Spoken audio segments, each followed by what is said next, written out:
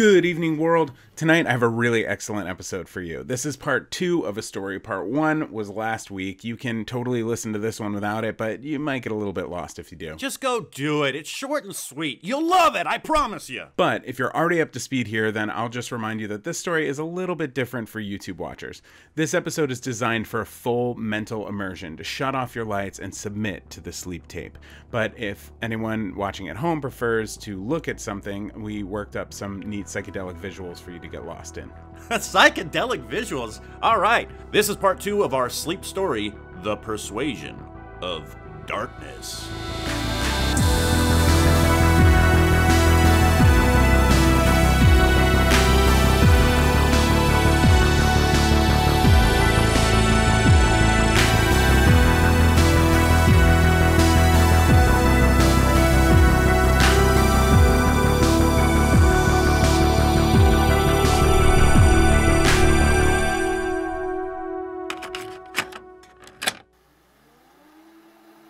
Begin by squeezing your toes.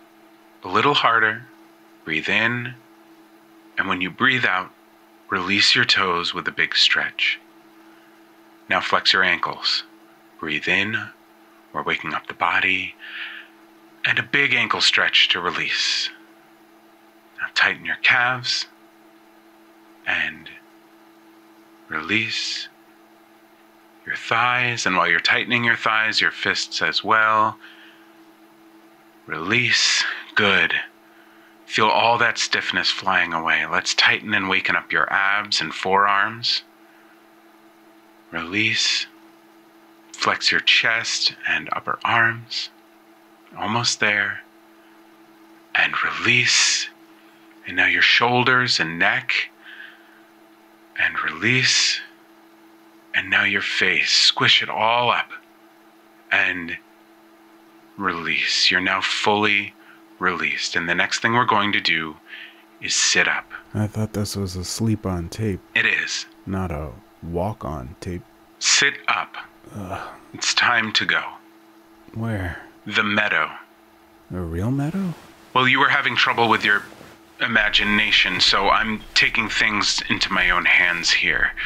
That's it. Swing your legs and touch them down to the floor. I don't feel anything.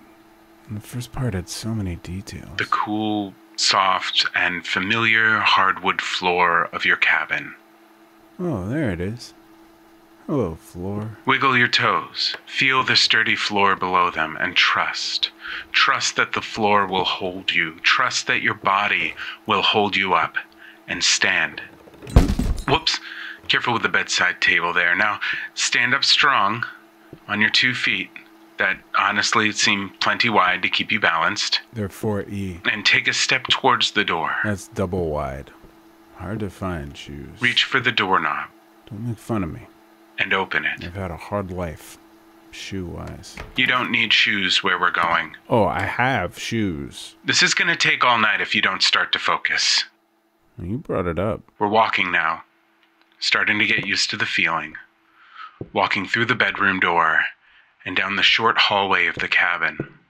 The hall where all the nooks and crannies have been filled with trinkets and memories. Take a brief moment here to feel the calm, to really live in the memories before we go on our journey. Where? The meadow, Dave. Again with the meadow. We have to get to the meadow, and I will protect you, remember? But you have to do exactly as I say, no straying. We have to get to the meadow. Take a look at your things here in the hallway. What do they mean to you? My grandmother had me design this little quilt. I used to draw all the time in high school. I was really into Japanese artwork for whatever reason. And this little knife is from when I went to Egypt. I still can't believe I was there. And this box still has love letters in it from middle school. or was this where I hid my cigarettes in high school? I think it might be both. Wow. Man, I never look at this stuff anymore. Take a deep breath in. The deepest breath you've taken today. Breathe in the memories and the feelings and the smells of home. After this, we'll be on our way. Breathe in, in, in, and hold it. Think about all the times past, all the stuff you kept, and people who came in and out of this cabin. And with a huge exhale, finally release. Good. Take stock of how you feel. Wow. That was incredible. Feel the smile growing from the edge of your lips. Feel how it softens your eyes and perks up your ears. Feel how even your shoulders and back muscles, your knees and feet all soften and change. Feel the happiness wash over you like a wave of love. Feel the fullness of your life, the richness of your relationships, and the vividness of your experiences fully engulf you as the wave washes through you. And now the wave has past and settled, reaching through your body, stretching far and wide. And now the gentle undertow starts to pull you towards the front door and inevitably towards the meadow. Feel it pull you. There's purpose behind it. As you near the door, one foot in front of the other on that familiar linoleum of the kitchen, you reach out with your right hand and grab the cold brass doorknob. Twist, pull the door open, and step through into the night. We're moving now. You know your way. You've been there a thousand times. The meadow. That's right. We have to go. We must make it. You walk carefully in the gravel path. Shit. My shoes. You don't need them. Well, I made such a big deal about them. You pause, standing for a moment on the gravel. The soft, worn, sand like gravel that has been there since the cabin was built in the 1970s, rubbing together and softening endlessly over time. The feeling is familiar, and yet tonight somehow gentler than ever, almost as if everything your feet touch is softer, easier to navigate. Wow. You realize suddenly that shoes are a waste, an impediment. If you are really going to feel your way to the meadow, you need all of your senses sharp. You take a deep breath in and release the idea of shoes from your mind. Let's do this. With your newfound sense of drive, you follow the old gravel path down the sloping dirt that leads to the dock. You take a small jog from the declining hill onto the old softened wood of the dock, where there are absolutely no splinters sticking out, and it's almost like the waters of the lake have sanded them perfectly over the years. No need to overdo it. Just making sure. You make your way to the end of the dock, where there's a rope tied to the end post. You grab the rope and begin to pull in the old canoe from the fog that's laid napping there on the body of the lake, like a comforter on a bed. A few more pulls and the canoe is visible. And a few more pulls of the wet nylon rope, and it's here, ready for you to cross. You untie the rope from the post, holding on to the side of the canoe, and square it up against the dock. Reaching inside, you take the paddle, your favorite wooden paddle with the Native American engraving on the bottom, and you lay it across the canoe for support. And from a squat, you carefully step into the center of the canoe with your right foot and sit gently on the back bench. You swing in your left foot, let go of the dock with a slight push, and settle yourself on the seat. Thought I was falling in there for a minute. This is the moment. No turning back. Take a look over your left shoulder at the cabin. See it. Really, truly see it. Breathe in. Two, three, four, and release it. Now paddle, It's hard to see. but you know the way. Straight across towards Madam Snoop. Ignore the fog. You know where to go. Just paddle. You know my grandmother named that rock Madam Snoop because it looks like a prissy woman with her nose turned up? Just paddle. Straight across the lake. Whoa. Keep paddling. Like something big just swam by. Focus on paddling. There was just turtles in here. Whoa. Okay, something huge. Ignore it. Wow. It's not important. Keep paddling. Seriously, do not put down that paddle and do not touch the water. You'll be safe as long as you. David, pick up. Don't touch the water. David!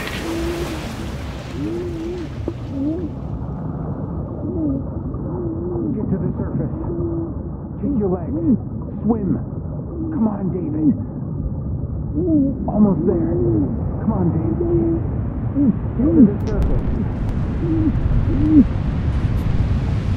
Big breath, Dave, but no time to rest. Swim in to the shore. The lake. And it's coming.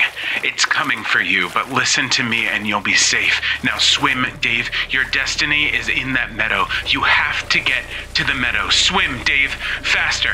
It's coming from the deep, from the dark murk below, and it will take you, Dave, if you don't swim fast. You have to get to the rocks. You will get to the rocks. Swim, Dave. Faster. Go, Dave. Go. Almost. But it's at your feet. It's slow, but it's big, and it knows what it wants. It'll drag you down until you don't exist. The fog is parting in front of you. Don't ease up. Swim hard. The rocks are in sight. That's it. Grab with your right hand that familiar knot of the rock and hoist yourself up, Dave. Good. You're not done. No rest yet. Get away from the edge. Stand up. Drag yourself if you have to. That's it. Away from the water. Onto the safe boulder. Good. Flop down now on the rocks and breathe. What the hell was that? Take a moment. We have far to go. That thing almost killed me. And it won't be the last to try. What the hell is happening? I told you, you'll be safe with me. But you have to start listening. So it's my fault. I told you not to touch the water. I just want to go to sleep. There is no sleep. Only the meadow. You have to get to the meadow. I don't have much of a choice now, do I? You never had a choice. It's the meadow or the bottom of the lake. I can promise you, you'll never make it to the bottom before being torn into particles by what lives underneath. This is messed up. Listen to me. Things are about to get dangerous. About to? You have to listen to exactly what I say. And if I don't? Particles. Okay. It's not far, but you need to find the path. The creek. That's right. Follow the sound of the creek. Should be just over here. Where it lets out. Good. Now walk along the creek. Do not step in the water and do not cross into the woods. Particles. Dave. Good. Now keep on following. All the salamanders we used to catch here. Keep going. Bright orange. Bright orange mushrooms, too. I never saw that anywhere else. Don't step into the water. Just along the rocks here. Look at safety orange. In nature. So bizarre. I think the path is up here. Good. Now make sure you can see it, but don't go just yet. I think I can make it out just fine. When I count to three, we're gonna run for it.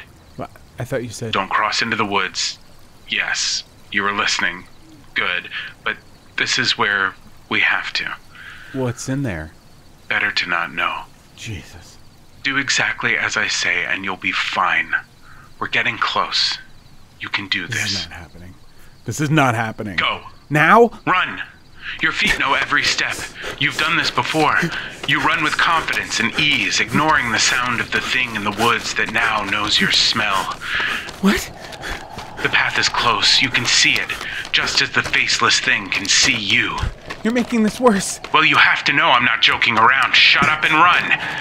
Hammer. Shut, shut up. Getting closer to you.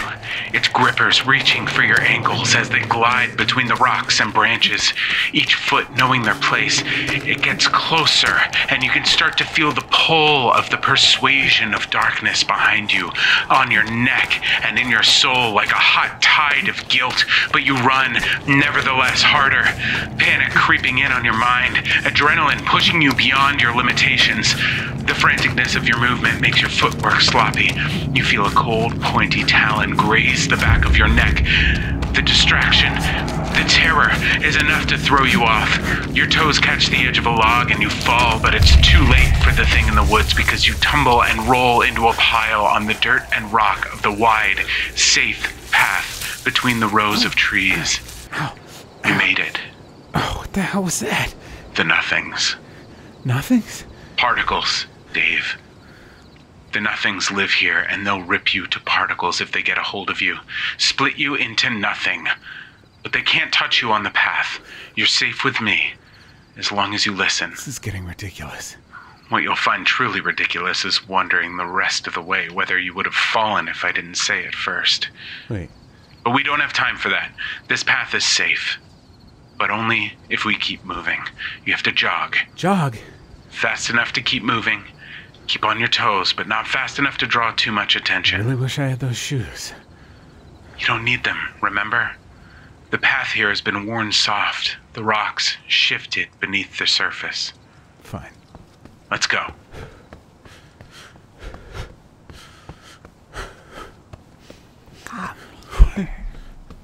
Ignore it. Just keep going. Well, that one sounded different. There's more than just nothings in these woods. Oh, We don't need to get into it. The most important thing is to ignore them. no, no, no. I don't like that. Come on. Come here. Come. Hello. Come. Hello. I hate this. I hate my life. Stop. What, me? Stop now. There's a tree in the way. Shouldn't I keep moving? There isn't supposed to be a tree in the way. I should just climb over it. No, you're. It's not. Shit. Shit. It's small. It's... You've seen. You've seen when you trust me, things go well, and and when you don't, well, bad things happen. Sure. You could walk around. walk around yeah that's look good I could walk around. No. You need to listen to me, and put all of your trust in me in this moment. Fine. Not just fine, not just giving in. The meadow is just past this down tree and, and up the incline. Climbing the tree puts you in danger. That tree is a bridge, a connection between the right and the left woods. The nothings are using it to pass from one side of the path to the other. So if I'm on the tree, You're off the path. what do I do? Close your eyes. Focus on my voice. Breathe in, two, three, four, and out. Two, three, four. Breathe in, and when you breathe out, I want you to release the idea that this is real. This. My baby boy. My baby boy. Come here. Just for a moment, I need you to think about this being a dream. Breathe in, and know this is a dream. Okay. The things in the woods can't hurt you. Never. We would never. Breathe in. The tree is a small obstacle. We would never. And breathe out. You start to back up. Small steps at first. You breathe in. And when you breathe out, you open your eyes to new possibilities. Your eyes snap open. snap your bones You begin to run. Perfect step after perfect step. You focus like never before, knowing deep down this is a dream, knowing that you are just laying in your bed and the only way back is to jump. You have to jump the tree. Six feet. But it doesn't matter. You're free now, free of all connection to life, free to jump as high as you want. The down tree is coming, your adrenaline and fear kicking in. All the sounds swell around you, the sounds of the angry nothings because they know what you're capable of and they don't like it. Three more perfect steps and you jump harder than you've ever jumped, diving headfirst over the trunk of the downed tree and landing in a forward roll on the other side. Oh. The meadow is just up ahead. Get up. Run. You said this was a dream. I fucking lied. Now run. Scramble up. Get your feet under you. Good. One foot in front of the other. The meadow is up there, and the nothings will do anything to stop you. Listen carefully. Run. Faster. Duck left. Good. Now keep going. Duck right. Okay. Jump. There it is. Just make it to the clearing. Run. Harder. Faster than you've ever run into the meadow. Feel the breeze on your face and the wet dew of the tall shoulder height grass as you slow down. Safe. For now. For now? How how long? You're here. The voices have stopped. The trees are far in a circle around the meadow. The nothings can't reach you now. I still feel them. I know. But look around. You're here. You're exactly where you need to be. Oh my god, is that Yes, is that my tent? it is. Wait, what? Yeah, I, I was camping here the other night, That's right. and I just Go to it. I left it here. That doesn't seem Open it. no. I'm sorry. How? Hypothermia. But I It was a damp night. You just got too cold. so then I'm You are. and you're I am. well. I can't. I'm afraid not. I, I don't remember. People rarely do. Was it painful? You just slipped away So, you're what? Guiding me to, to where you're supposed to be. heaven? If that's what you want to call it. What about? Particles. They'll rip you to particles. But if you come with me, we can preserve your soul, keep you intact, and set you back into place. Okay. What do- what do I need to do? Look to your left. Look down the path that leads into the woods, into the darkness. Not the woods again. Just look. Do you see it? Look past the path and into the darkness and see, pinhole. yes, a star. Distant but glowing. A powerful beacon in the darkness. I see it. I can take you there. I can guide you to the beacon. But you have to do exactly as I say.